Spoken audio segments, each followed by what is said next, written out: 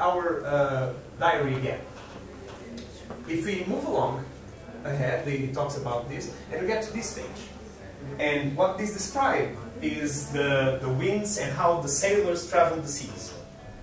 And what they, they tell us is that the, the turn, the